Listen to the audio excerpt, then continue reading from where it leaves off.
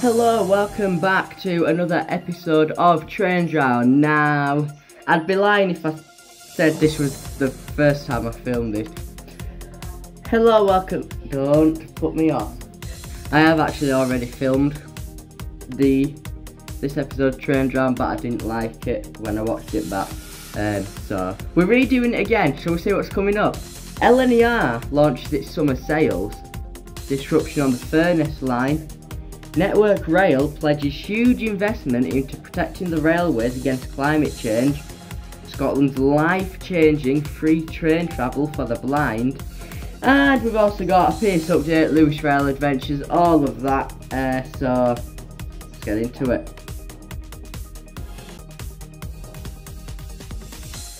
LNER is launching a huge summer sale on hundreds of thousands of tickets in a bid to help its customers uh, plan and book their getaways in advance for the best value. Now, tickets for weekday and weekend services up to and including uh, the 6th of September went up on sale on Thursday.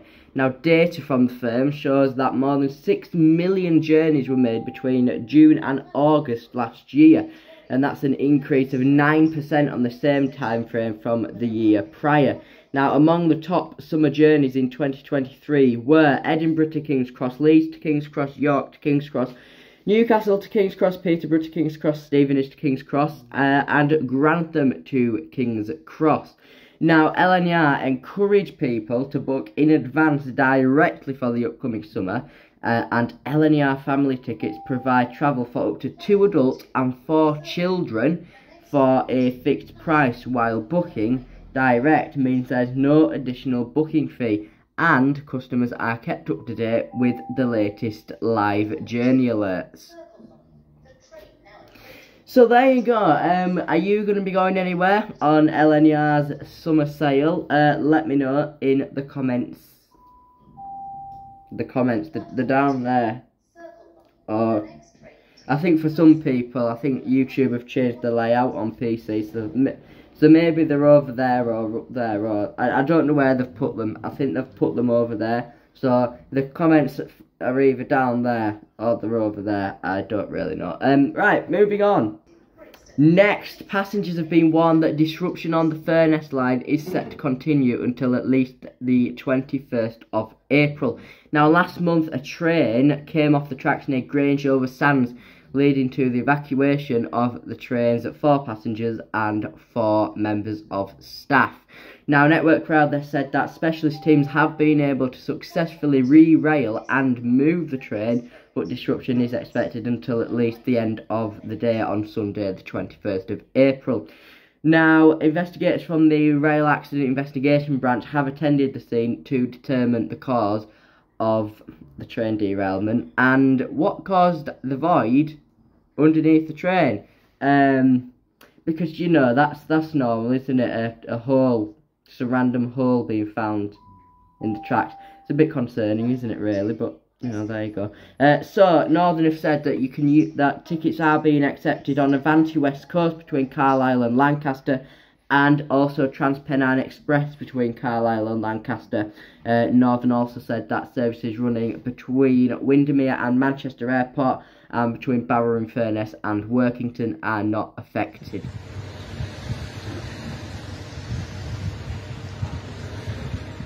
Now, to assist customers uh, in completing their journeys, a rail replacement bus is running between Barrow-in-Furness and Lancaster in both directions. A spokesperson for National Rail said that if you are travelling to Kents Bank, Silverdale, or Arnside, then you must board the 16-seater minibus because the full-size coaches are not able to call at them stations. So make sure you get on the right coach. You're getting on a minibus if you're going to Kents Bank, Silverdale or Arnside. Don't get on the big coach because you won't be getting off at Kents Bank, Silverdale or Arnside. Um, now, uh, they're also warning to be... They're also warning to be aware that journeys will be extended by about 90 minutes when travelling using the rail replacement buses. Um, so, like I said, Network Rail expects the line to be open later this month. Is that exposure? It's just all of a sudden, it's been dark all morning because of Storm Kathleen, and now the sun's decided to come out and it's a bit bright. So let me just see, whenever I come close, the, the exposure goes, is that too dark? I don't know if that's too dark, you know. Well, anyway, it just fixes itself anyway. Um, so yeah, I don't know how I feel about a, a random hole being found under the train track. I don't know what to say about that, to be honest. Next, Network Rail has announced that it is ramping up spending on protecting the railways from climate change.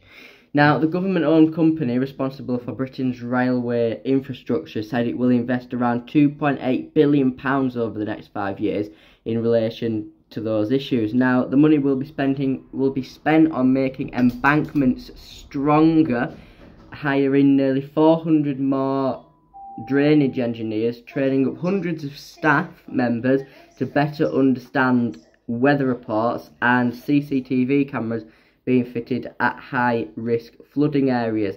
Now, it, now that follows um, some major disruption over recent years with uh, the Stonehaven derailment a couple of years ago being caused by dodgy drainage, something like that.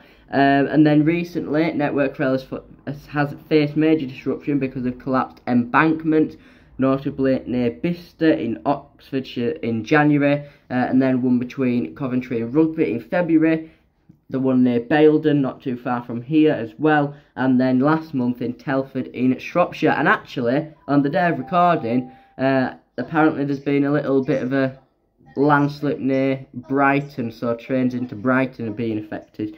Um, but I've not really read that, I just saw the headline, so I don't know a lot about that really.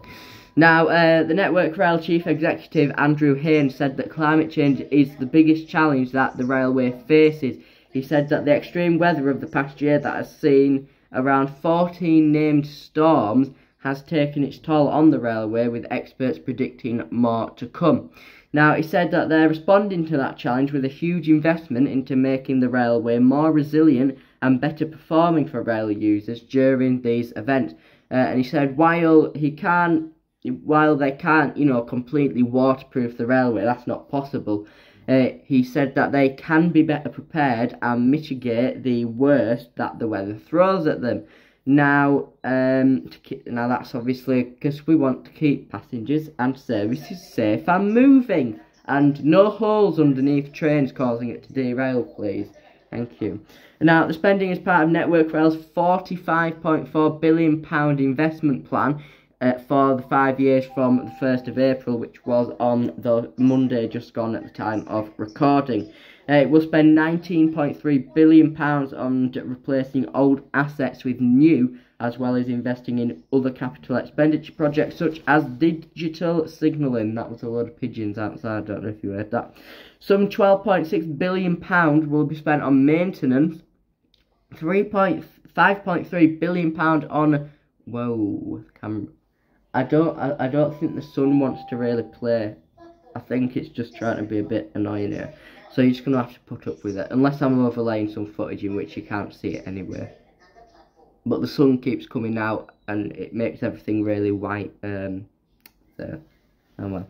Um, so, yeah, so some about 22... Uh, there.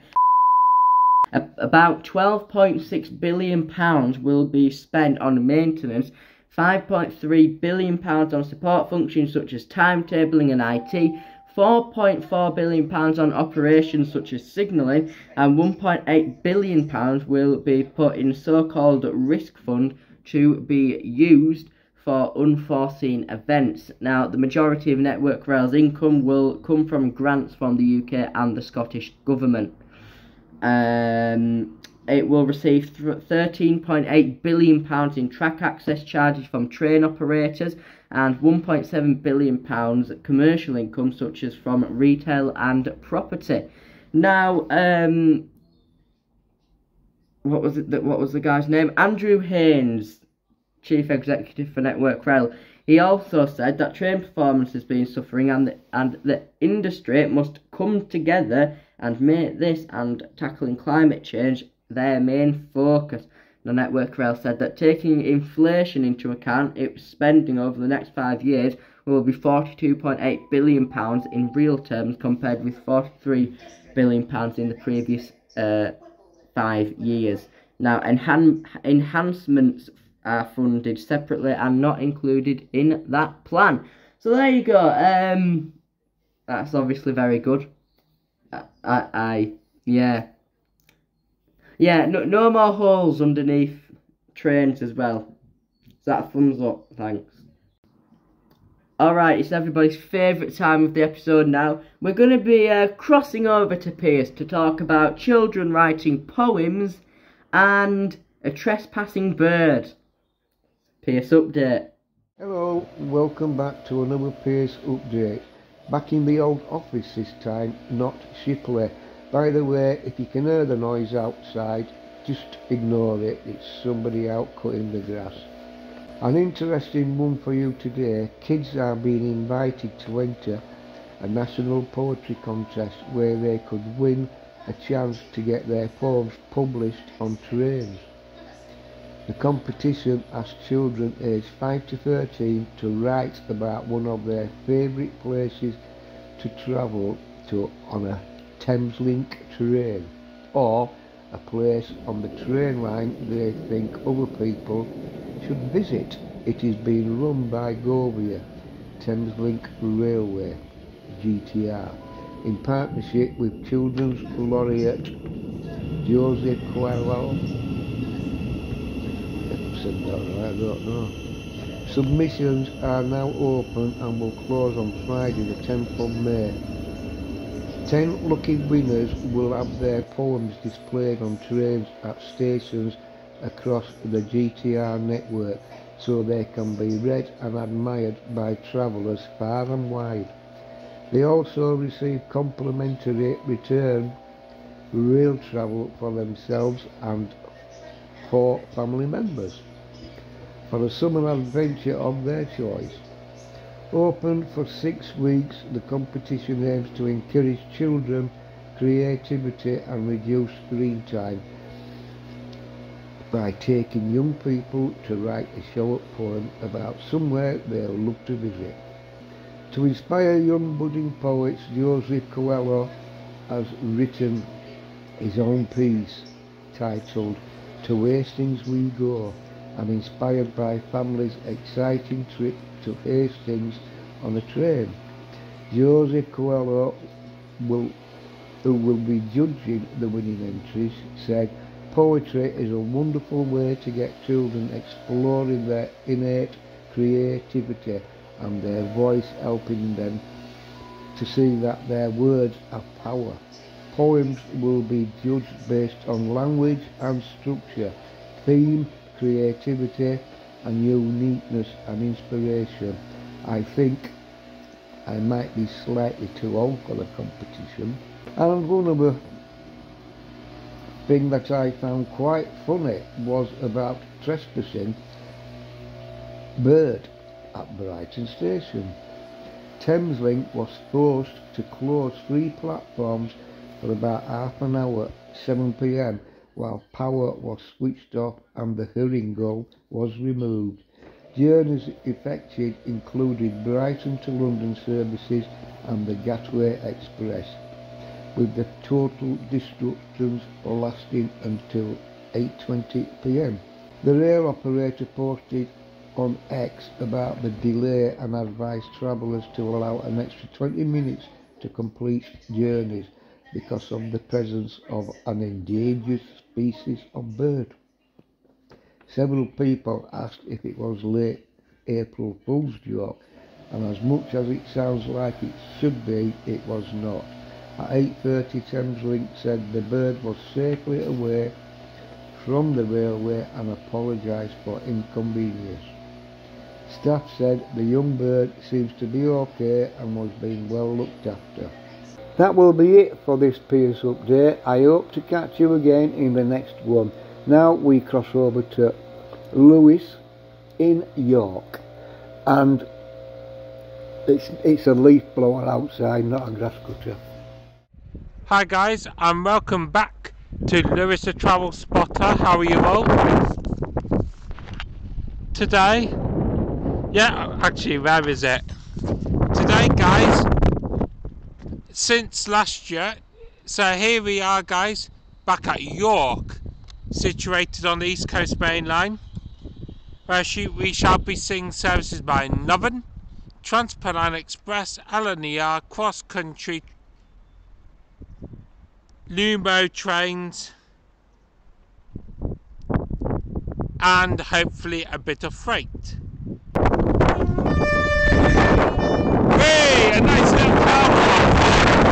597387. To Blackpool North. Long.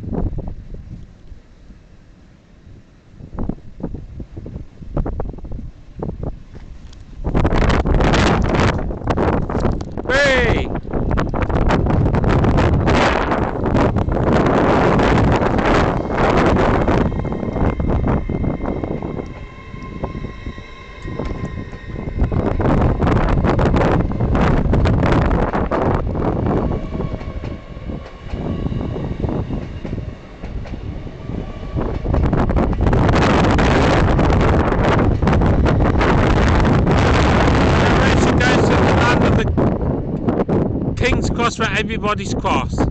Now passing through is a shed. And as the horns are allowed to prepare to jump.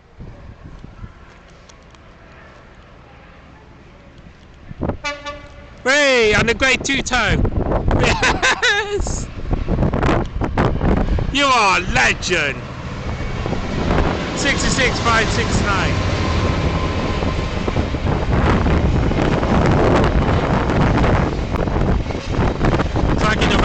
Beauty.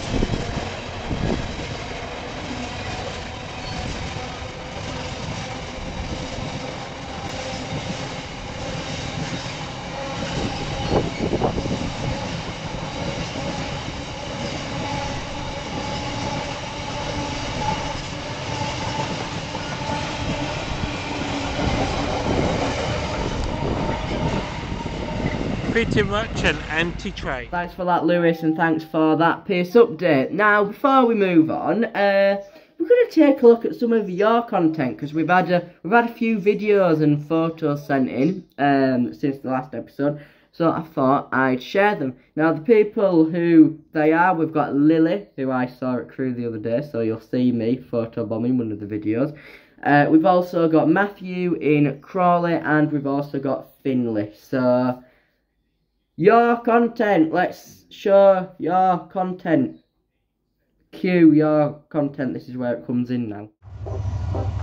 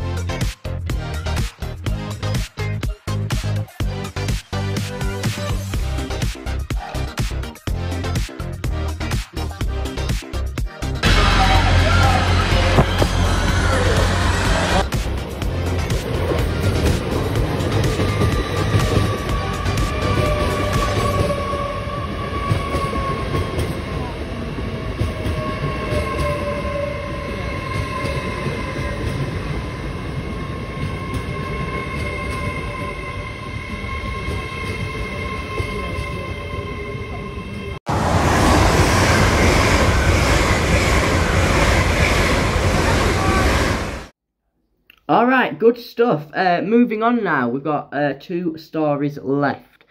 Now, uh, leading sight loss charities have hailed the Scottish Government's life changing decision to provide free train travel for the blind and partially sighted people and their companions.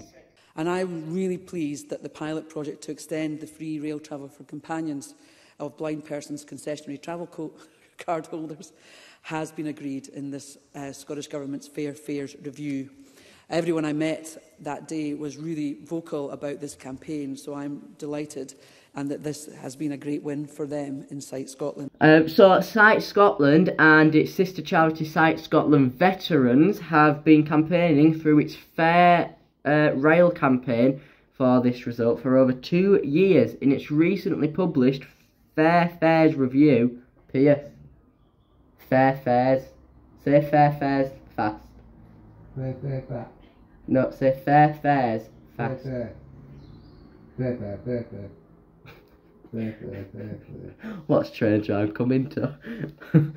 um, oh dear, is this what we've come to after four years? I mean, I know the videos have been taken down from before because I decided to delete them because they were crap. But is this what we've come to after four years of train drive? Um, right, so yes, uh, Scotland and its sister charity Sight Scotland Veterans have been campaigning for this. And in its recently published Fair Fares review, Transport Scotland says it's it says it plans to launch a pilot project uh, to extend free train travel for companions of blind persons consensory travel card holders. Now this policy change will have a profound impact on the lives of visually impaired individuals across uh, Scotland. Craig Spalding, Chief Executive of Sight Scotland and Sight Scotland Veterans, said that they are delighted the Scottish Government has announced a pilot project which will see the free rail travel. So um, there you go. That's nice, isn't it? That's um, that's gets thumbs up from me. Does it get a thumbs up from you? Let me know in the comments below what you think to that.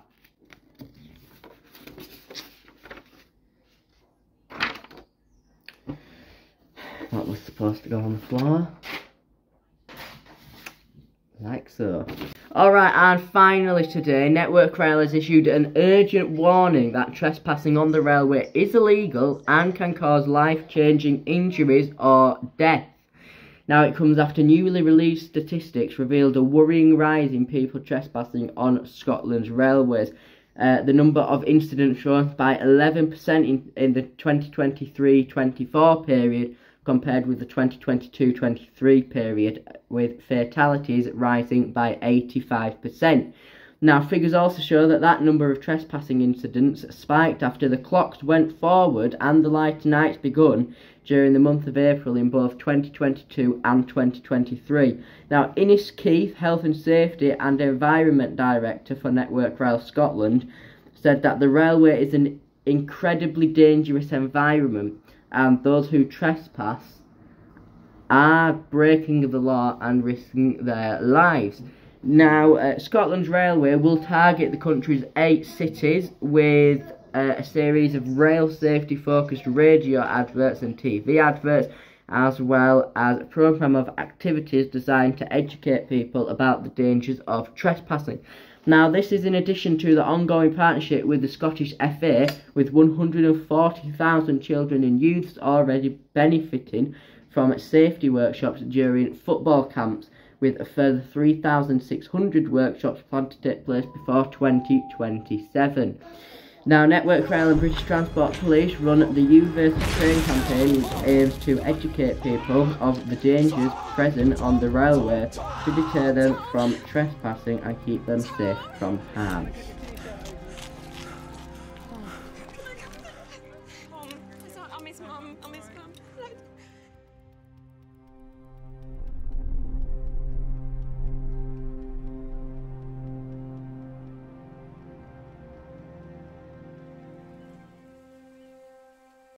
So there you go, moral of the story, don't trespass on the railways, children. Train, right, at this point we need a text on here that says train tram PSA. So the PSA this, do you know what PSA stands for? Public Safety Announcement. PSA, Children, don't trespass on the railways. It's not good. Don't do it. It's not good. Hey, What? there's a film called Railway Children, Yeah, I know there is. and you just mentioned it. No, I didn't. You did. You should don't listen to Railways Children. So anyway, uh, that's going to do it for this episode of Trains Round. I hope you have enjoyed. If you have, you can press like, subscribe, leave a comment as well. We like it when you leave a comment because it's nice. Um, as usual, you can get in touch, uh, email, send us your stuff if you want it to be featured. Railway, uh, the Railway Podcast at gmail.com. It's in the description. Instagram at Trains Round Official underscore in the description. Train siding at Trains Round Official in the description. Um, so yeah, that was this episode of Trains Round done. Thanks for watching. Bye. Say bye, Piers. Bye, Piers. There.